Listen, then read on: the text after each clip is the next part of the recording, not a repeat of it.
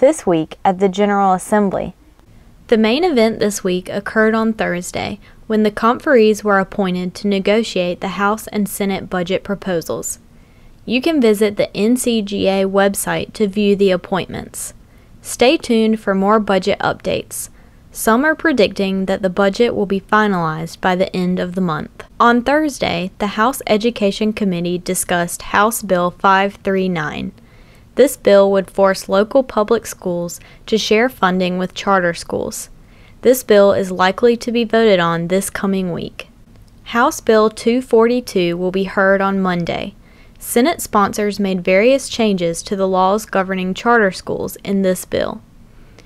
The bill would direct the State Board of Education to review a charter school's operations once every 10 years as opposed to the current five years.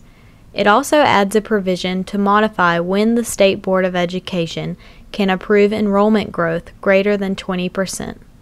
The bill would also include charter schools when identifying low performing schools. At its June meeting, the State Board of Education unanimously approved revised high school mathematics standards for Math 1, 2, and 3. This week, the Senate Education Committee debated proposals to realign the high school math curriculum. If passed, this bill would require the State Board of Education to revise the math standard course of study to offer the traditional sequence of math courses while still offering the integrated track. House Bill 657 was placed on the calendar for Monday. Senate Bill 536, titled Students Know Before You Go, would provide data to students to assist in selecting college majors and career choices.